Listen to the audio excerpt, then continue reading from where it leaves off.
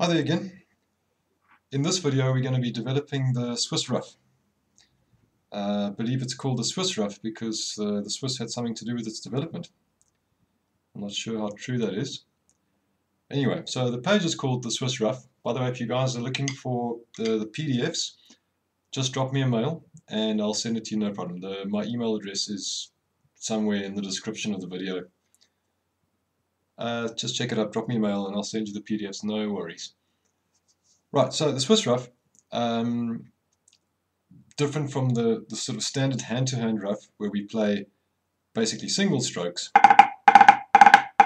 hand-to-hand, -hand. and now we, we, uh, we're putting the double stroke in the middle, so we're going single, double, single. I'm calling this one the right-hand ruff, it's, it starts and ends on the left, but it's got the right hand double. That's the right hand ruff, Swiss ruff. The left hand ruff reverses that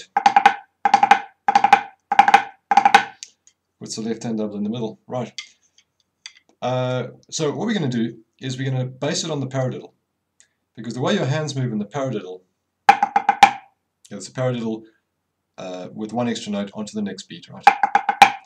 The way your, your, your, your hands and your sticks move there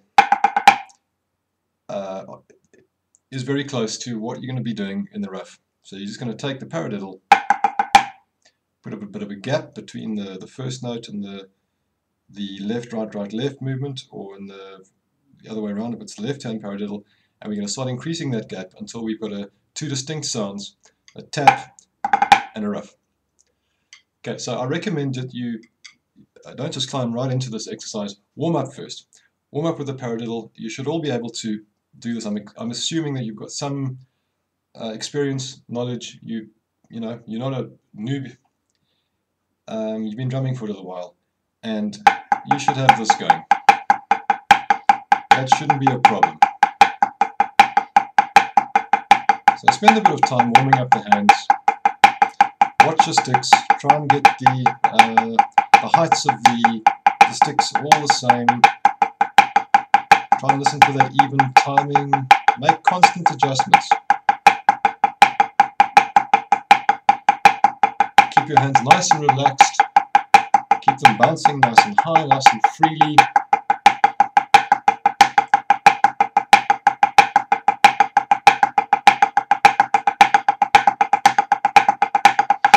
And again, as I've explained in some of my other videos, we don't want to be forcing anything as soon as you start squeezing, you feel that you have to um, exercise that, that uh, excessive control and you start to play like this. Just slow down, back up, start again and just make sure you're getting work with the rebound. Your stick got to be bouncing up. That's where the magic happens. Always on the up. The stick must be coming back into your hand at every every opportunity. Okay. And the accents are not overdone. They're not these massive giant strokes that we sort of squeeze in and hit the blazes out of. They're just a slightly higher stick lift with a nice free action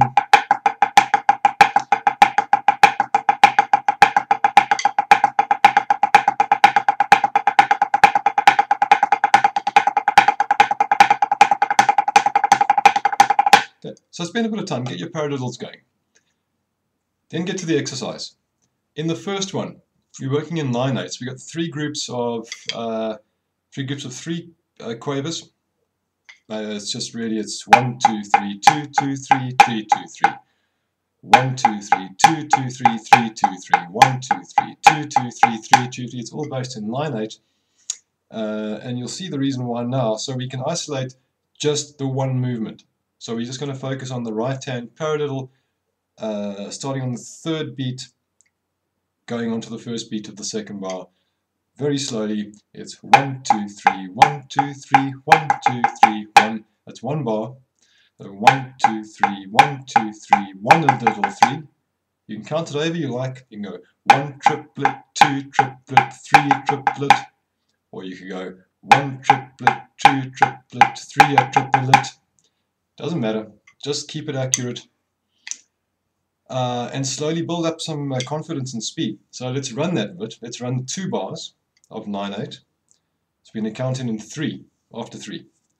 And one, two, three.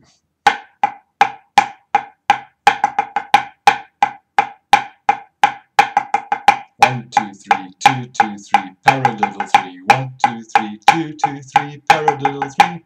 Two, three, two, two, three, paradiddle three. One, two, three, two, two, three, paradiddle three. Right. So now when we go into the next line, what you might want to do, uh, if you've never played the ruff before, is instead of widening that gap to the point where it's we're producing the exact notated triplet value within the 9-8 triplet. You can slowly, incrementally increase that gap. Um, might work for you, it might not. Uh, so we take the, the paradiddle again, paradiddle stop, paradiddle stop, one E and a two, however you're counting it. Uh, and play the right note and very deliberately put a little bit of a gap in and let the other notes kind of drop in but still in a controlled fashion. So don't worry too much about timing when you're first getting it off. Put a bit of a gap and a little bit of a breath of air. Tap, tap, tap.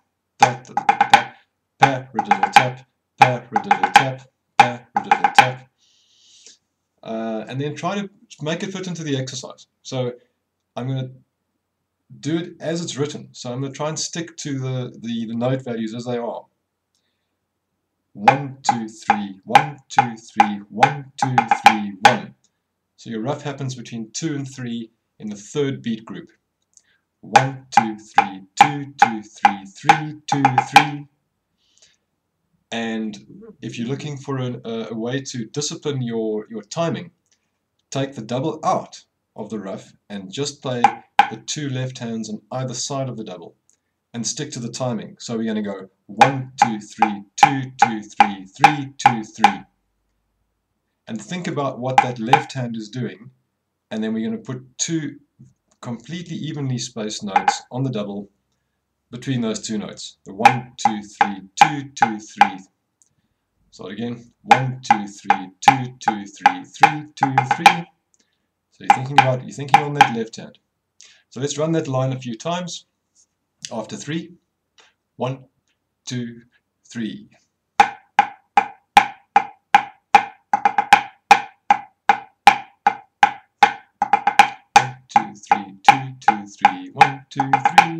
Two, three, two, three, one, two, three, one, triplet, two, triplet, three, triplet, one, triplet, two, triplet, three, triplet, one. Okay, so let's play the whole exercise, four bars, beginning to end. I'll, I'll do it twice through. After three. So it's one triplet, two triplet, three triplet.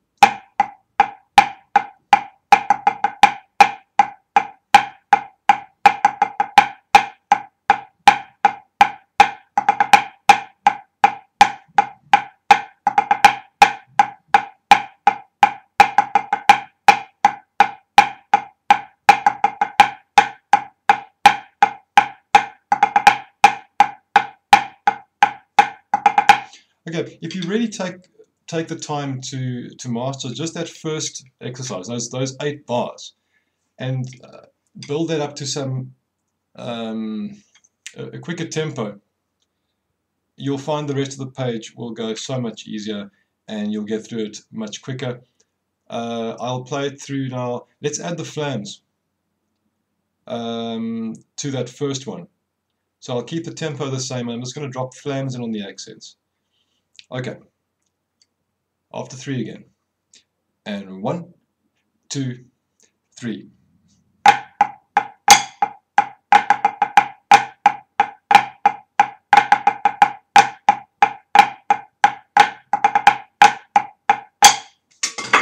Wow. Don't be too relaxed. Hmm?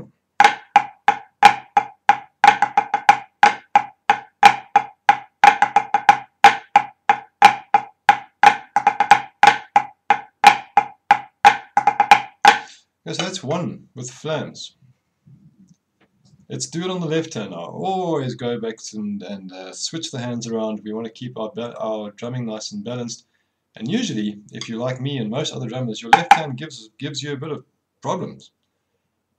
Uh, so you, you're probably going to need to spend more time doing the left hand one than the right hand one. So anyway, as here's a playthrough of the the, the left hand, um, I've called it the paradiddle to rough exercise. The 9-8, uh, third line from the top. After three. And one, two, three, two, two, three, three, two, three, one.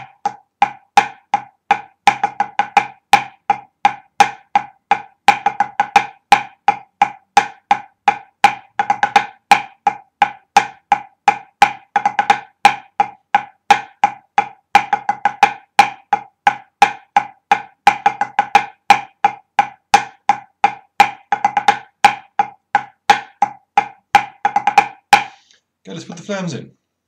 After three, one, two, three, and flam, two, three, flam, two, three, flam, a little three, one, two, three, flam, two, three, flam, a little three, flam, two, three, two, three, flam, ruff, flam, two, three, flam, two, three, flam.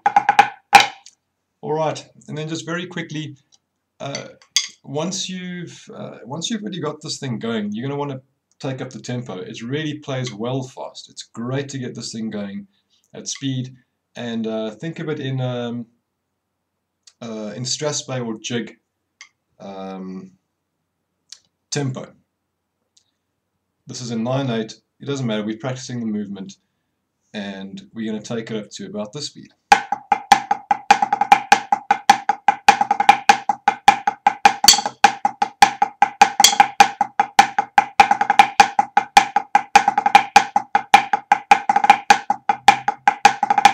Left two, three.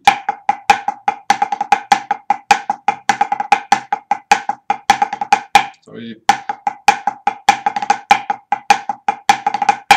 And that was the ruff. Okay, and put the flams back in there, all that good stuff.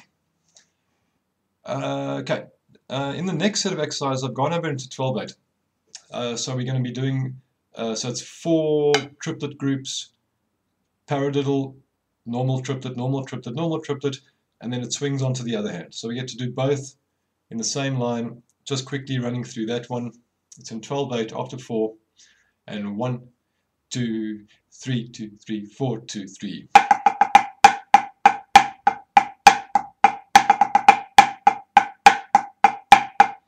And again, as we did with the first exercise, we're just going to transform those paradiddles into the ruff movement. Okay, so both lines of the 12-8,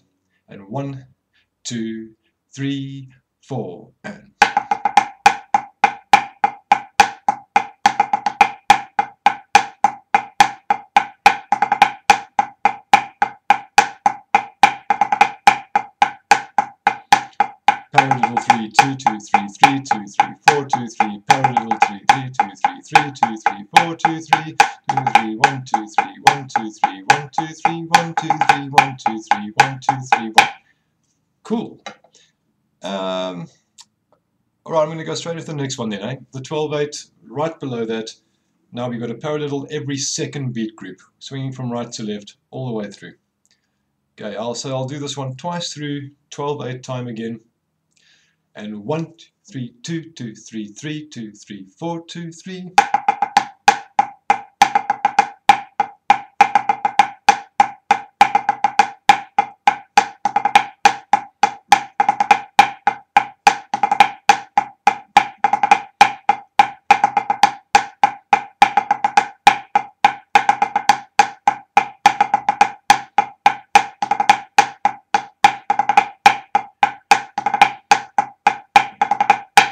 Right, I'll just do a quick playthrough of A again, followed by B with flams this time. I'll keep the tempo more or less the same.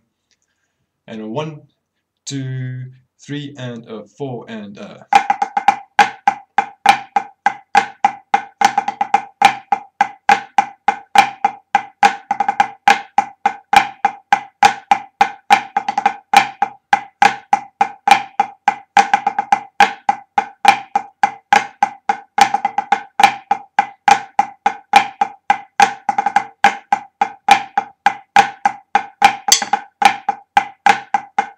That's why we got the slip up there.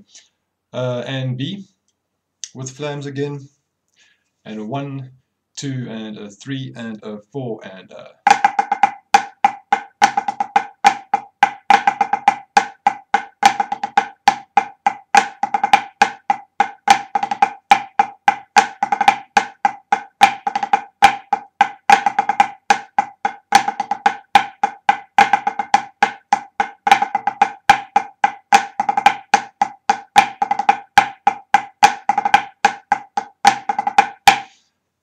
again, just keep on going until you get it right. Choose your own tempo, uh, stick with where you're comfortable, and slowly build it up. And perhaps the most important thing is don't ignore, uh, say, the left hand right. So you, you, you're battling to do that one, and don't say to yourself, oh, well, we never play that one in our drum scores. Uh, we're always going like this. So why should I learn that one? Well, you learn it not because you're necessarily going to play it, but because you're teaching your hand to do something that it can't do. And you should always practice what you can't do rather than what you really can do. Yeah, it makes sense. Right. Next one. So uh, in this in this first uh, two bar phrase, all I'm doing is is um, uh, I'm getting the hand to move as it would do without the, the, the double in the middle of the ruff. So in this one, we, we, we're doing the ruff onto the beat. And so there's going to there's to be an accent in the end of the ruff, just defining where that beat is. So instead of the, the ruff in the middle of the beat, that one, two, three, one, two, three, one, we're going to one, two, three, one. We're going to aim for the beat this time. And it's important that you, that you teach your hand to do um, to get the basic shape that it needs to be in, to get these things right, to get the sound right. Okay, so the first one, uh, very slowly, it's just one, two, three, one, two, three, one, two, three, one, two, three, one, two, three, one, two, three, right, left, left, two, three, right, two, three, left, right, right, two, three, left, two, three. So we're just teaching that, that soft, loud tap, which is going to be the way the ruff is going to feel. It feels the same as this.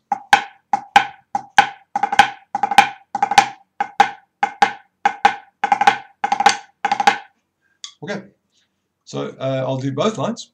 Uh, I'll do once through A, once through B, after three. And one, two, three.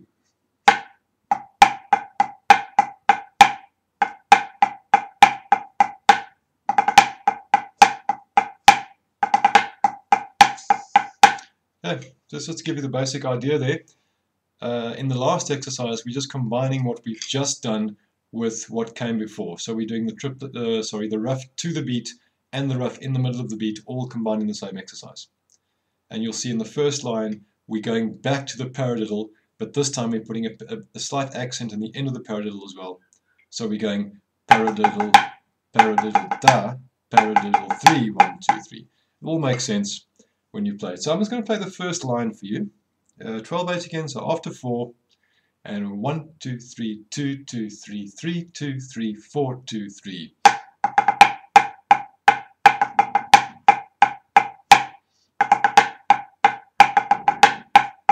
One, two, three, one, two, three, one, two, three, one, two, three, one, two, three, one, two, three, one, two, three, one, two, three.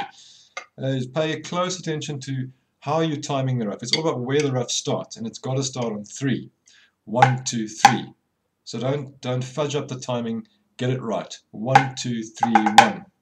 One, two, three, one, two, three, one, two, three, one, two, three, one, two, three, one, two, three. Yeah, that's a bit exaggerated. I didn't quite get the sound there, but it's more about the timing. And if you're battling with that, then exaggerate the notes slightly if you're battling with timing. So rather do this. One, two, three, one, two, three, one, two, three, one, two, three, one. So program your hands into the right timing and then try to bring in the feel. Okay, but do what works for you. You should be able to do it any uh, in, any given way in any case, whether you're playing those loud, soft, uh, crescendoed, not crescendoed. Okay, uh, so I'll play through the whole thing then, the paradiddle line and the ruff line. Uh, so you can see how it all fits together. After four again. Two, three, four.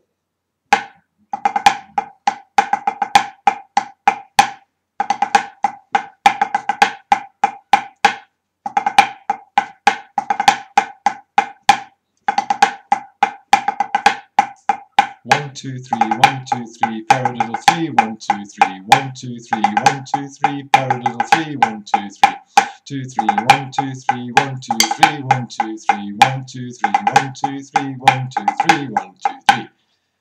Alright, and you do the same thing as you've done with all the other ones. Start where you're comfortable and build up with tempo. Um, this uh, ruff movement is, it's a tricky one to learn at first but it's probably one of the more rewarding movements because eventually you get to a point where you're no longer playing it as uh, three deliberate strokes. You're not sort of uh, engineering your way through it.